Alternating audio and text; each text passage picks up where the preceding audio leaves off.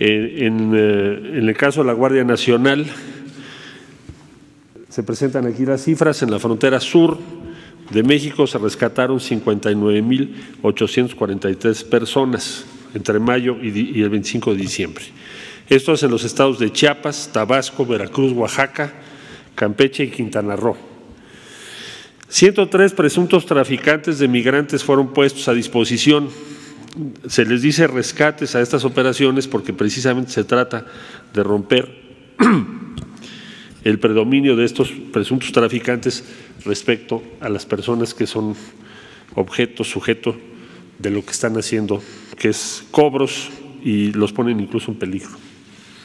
Bueno, eh, se instalaron 21 puntos en la frontera sur y 20 en la frontera norte para hacer las revisiones correspondientes.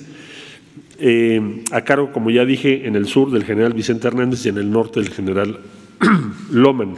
Quiero destacar que la Guardia Nacional, a pesar de haber tenido esta encomienda con esos números, no tiene ninguna recomendación de la Comisión Nacional de Derechos Humanos, lo cual es un mérito mayor. Es una operación enorme, sin recomendación, insisto, de la Comisión Nacional de Derechos Humanos, cosa que en mucho reconocemos a la Guardia Nacional.